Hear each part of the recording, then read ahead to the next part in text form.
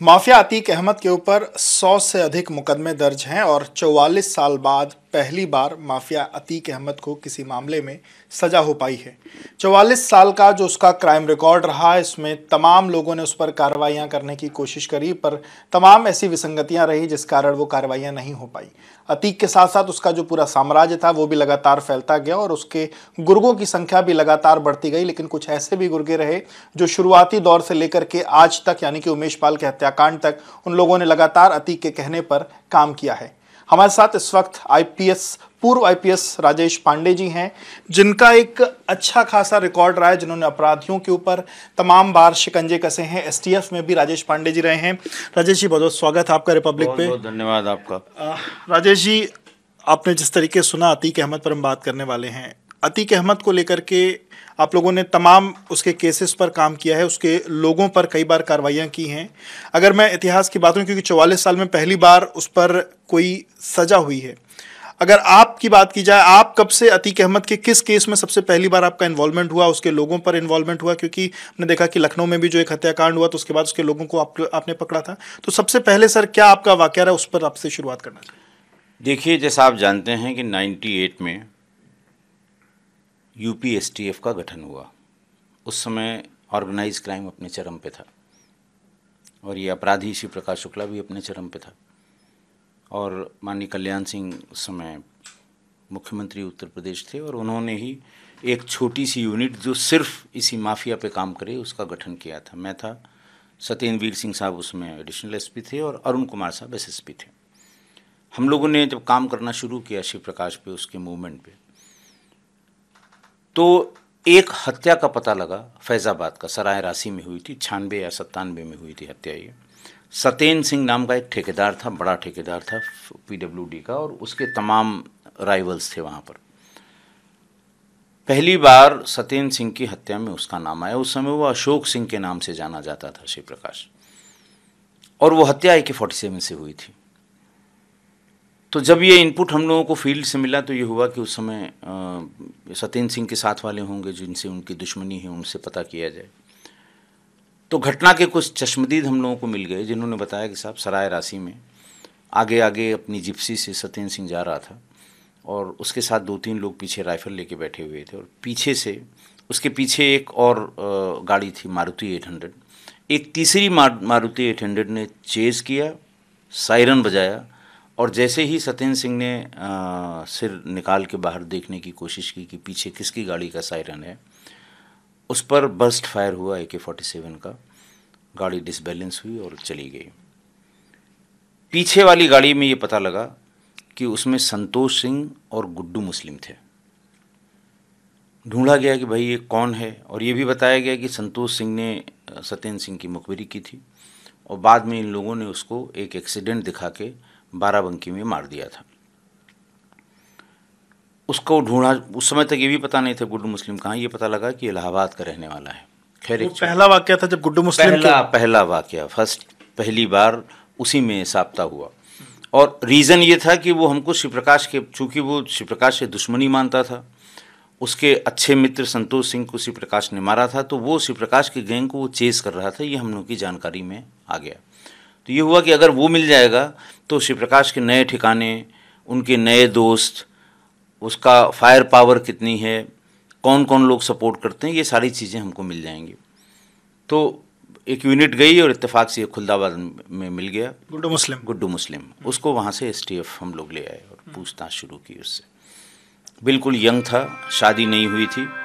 और फिर थोड़ी सी कड़ाई के बाद डिटेल पाँच साल उसको हो गया था अपराध में उस समय। मैं ninety seven. Ninety seven ninety eight में। पाँच साल उसे अपराध में हो गया था।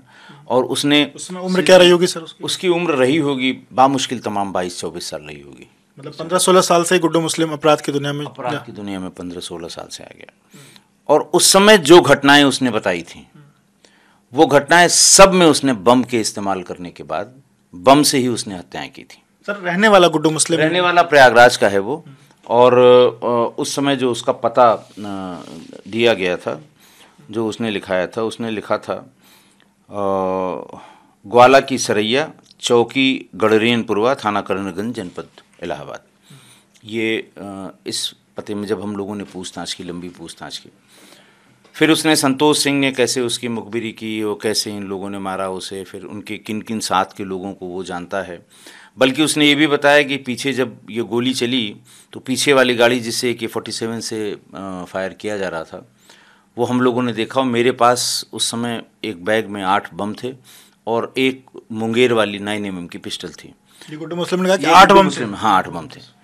मेरे कहने का आशय ये कि सत्तानवे अट्ठानवे में भी वो बम ही उसका फेवरेट था।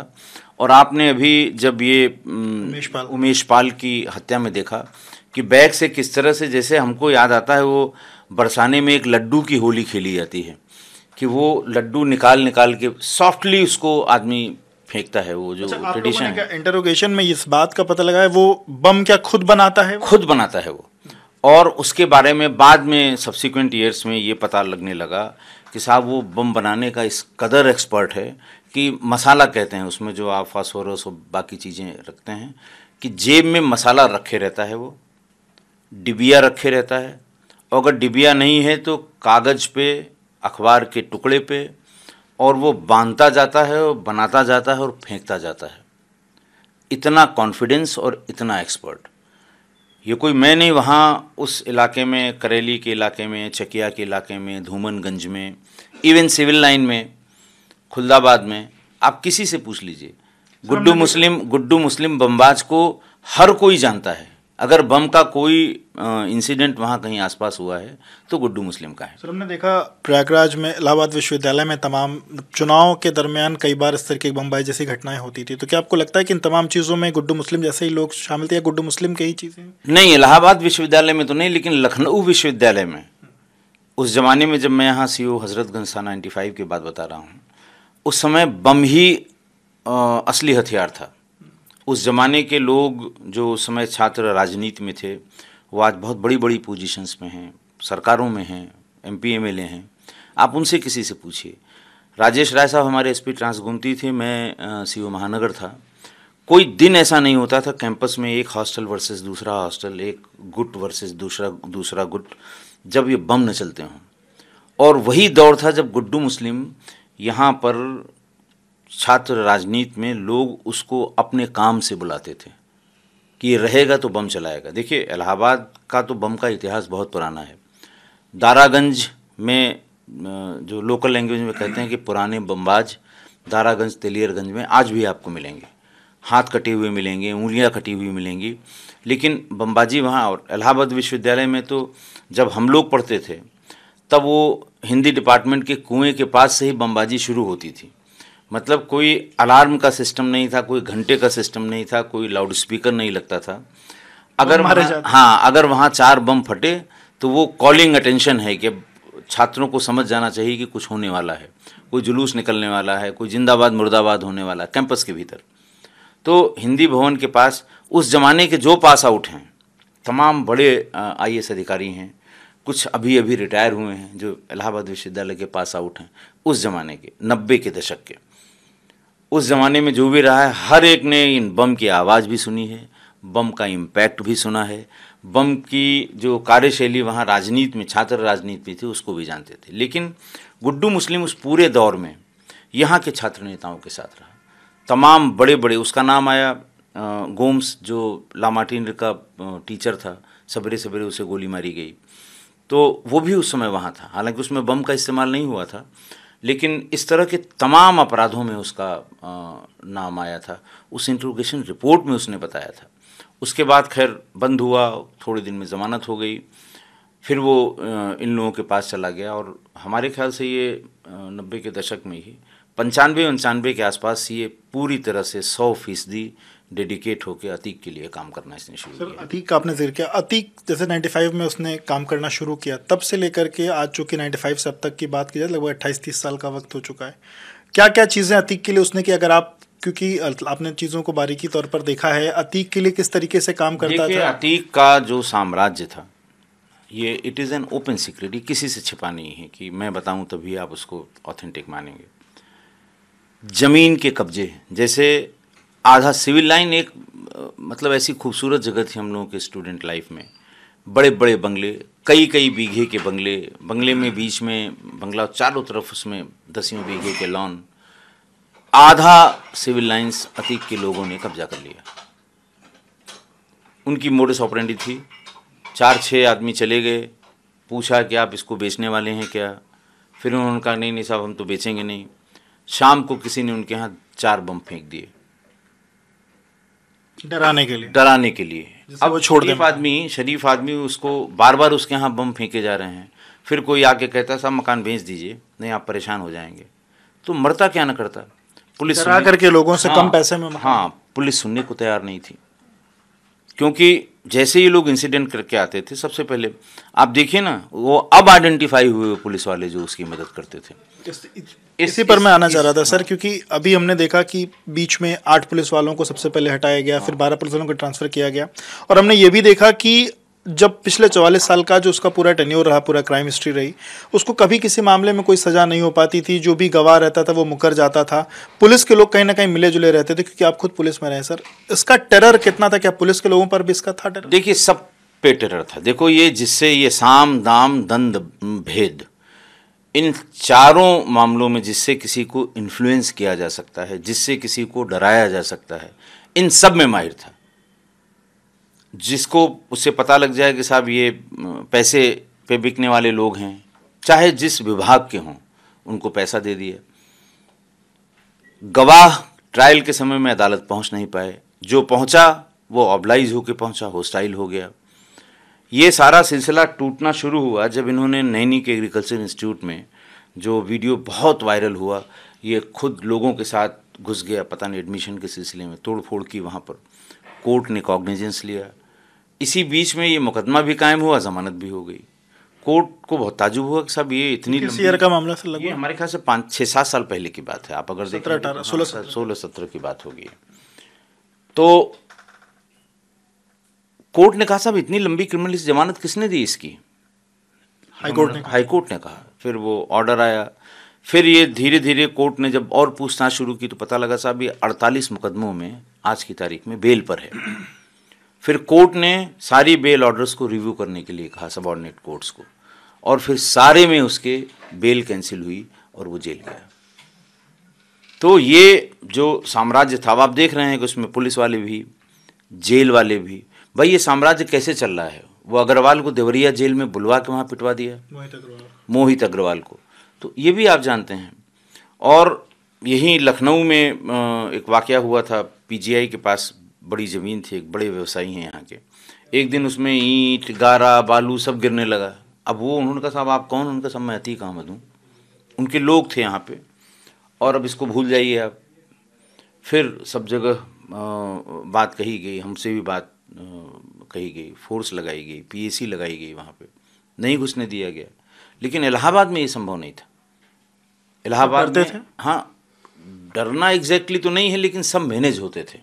जो जिस चीज़ से मैनेज हो रहा है बड़ा पॉलिटिकल आदमी है उसकी भी ज़मीनें कब्जा हुई वो कहाँ तक जाएगा? वो अपने पॉलिटिकल लीडर के पास तक जाएगा। तो क्या राजनीतिक संरक्षण भी हंड्रेड भाई अब इसमें कोई शंका थोड़ी है कि राजनीतिक संरक्षण जो पुलिस का संरक्षण पुलिस का संरक्षण तो अब प्रूव हुआ। आप देख रहे हैं कहाँ कहाँ से जेल कर्मचारियों का संरक्षण प्रूव हुआ। कैसे वो जेल से पूरी सल्तनत चला रहा है? मोबाइल मिलता है उसके पास मोबाइल रहता है उसके पास तभी तो ऐसा करता है। अतीक का भाई सर अशरफ उसके बारे में किस चीज़ देखिए ऐसा है ना ये अतीक हो चाहे अशरफ हो चाहे गुड्डू मुस्लिम हो जावेद हो कोई भी उनका पूरा ग्रुप कोई इनमें ऐसा नहीं जो एक दूसरे से अलग है। सब उसी थैली के चट्टे बट्टे हैं। सब वही काम करते हैं। अच्छा सर, ये उमेश पाल की जो हत्या हुई, क्योंकि उमेश पाल भी पहले ये कहा जाता है कि अतीक के लिए काम करता था, फिर बीच में राजूपाल का चुनाव जीतना। उसके बाद का सर क्या वाक़ है क्योंकि आपने इन चीज़ों को काफ़ी करीब से देखा जी, देखिए एस में हम लोगों ने जितना परसू किया था एस में एस की पूरी टीम ने परसू किया था। इलाहाबाद की जो यूनिट है, उसने इसका पूरा डोजियर उस समय तैयार किया था। तो जो मोडस ऑपरेंडी है वो ये है। अच्छा चूँकि पॉलिटिक्स में था, सांसद रहा, विधायक रहा तो हर किसी से बात करने की उसे छूट थी। अधिकारियों को भी अपनी उल्टी सीधी बातें बता देना पॉलिटिकल लोगों से भी, मान लिया एसएसपी सुनने को तैयार नहीं है इलाहाबाद का तो किसी पॉलिटिकल आदमी से कहलवा दिए, जो ऐसा पॉलिटिकल आदमी जो मायने रखता है सिस्टम में। तो ये उसका बड़ा प्लेन एंड सिंपल बता तो रहा हूँ, आप वहाँ खड़े हो जाइए, कहीं भी, छकिया में खड़े हो जाइए, धूमनगंज में खड़े हो जाइए खुलदाबाद में खड़े हो जाइए, करेली में खड़े हो जाइए, आप दस किस्से सुनिए। लोग इसके किस्से कहने से डरते थे, बताने से डरते थे, नाम लेने से डरते थे ऐसा भय था। लेकिन अब वर्तमान सरकार ने जो मतलब आप सोचिए कितने लोगों के दिल में खुशी आई होगी जब मुख्यमंत्री ने on the floor of house ये कहा कि मैं मिट्टी में मिला दूँगा। अब जो लोग बोल नहीं सकते हैं जो आपके कैमरे पे आके नहीं बोलेंगे जिनका किसी से कोई लेना देना नहीं है आप उनके दिल से पूछिए कि उन्हें कैसा लगा होगा कि चलो कोई आया इसको मिट्टी में लाने वाला। नहीं कभी लगता ही नहीं था कि इसकी सल्तनत इलाहाबाद से कम होगी कम होगी ख़त्म होगी जाएगा। कभी नहीं लगा। इसके पीछे उमेश पाल का जो मर्डर इसके पीछे आप क्या थ्योरी मानते हैं? हालाँकि अभी ये चीज़ें प्रूव होनी लेकिन इसके पीछे आपके हिसाब से आप क्या मानते हैं? देखिए मामला चूँकि सब जुडिस है लेकिन एज ए पुलिस ऑफिसर इतने मुकदमों में चालीस के आसपास मुकदमों में बेल कैंसिल करके जेल जाना। सामान्य आदमी भी जान गया कि इतने मुकदमों में फिर से बेल होना जब हाई कोर्ट और सुप्रीम कोर्ट का इंटरफेरेंस है उसके बाद ये मुश्किल काम है। यानी बाहर आते आते इनको दसियों साल बीसों साल लग जाएँगे। तो इनकी जो रिट थी वहाँ चलती थी वो आप ये समझ लीजिए कि वो ख़त्म सी हो गई। लोग जो है अतीक से इसको अतिकवा कहने लगे। ये सब दो तीन साल का है। दो बेटे भी जेल चले दो बेटे भी जेल चले गए। तो ऐसा लगा कि अब ये इसकी सल्तनत अब ढलान की ओर है, ख़त्म है, कोई अब इनकी बात को मानने को तैयार नहीं है। तो उसको, उस पोजीशन को कैसे रीगेन किया जाए? देखिए, उमेश की गवाही हो चुकी थी। एक दिन पहले क्रॉस एग्जामिनेशन ख़त्म हो गया था। आपने अखबारों में पढ़ा होगा। केवल किसी सवाल के लिए या पाँच मिनट के लिए। और कोर्ट ने गवाही क्लोज कर दी थी। फिर भी टाइम दिया था, ठीक है, कल आइएगा। ऐसे में उसके मारने का अब उसकी हत्या से क्या मुकदमे के परिणाम पे कोई अंतर आया? आजीवन कारावास उसी मुकदमे में हुई। वर्चस्व? वर्चस्व है केवल वर्चस्व है कि लगा कि भाई अब तो हम ढीले हो रहे हैं अब तो लोग हमारी बात सुनने को तैयार नहीं हो रहे हैं अब जिसको कहा जाता है पैसा पहुँचा दो या ज़मीन लिख दो वो कहता है कि अच्छा हम बाद में देखेंगे। वो फ़ोन स्विच ऑफ़ कर लेता है। मज़ा ले किसी की अगर ये फ़ोन कर रहा हो कोई स्विच ऑफ़ कर ले। चार आदमी पीछे पीछे पहुँच जाया करते थे। तो ये है वो उसका अब ऐसा लग रहा है कि उसका, उसकी सल्तनत टूट रही है, बिखर रही है, ख़त्म हो रही है। और हमें पूरी उम्मीद है कि ख़त्म हो जाएगी।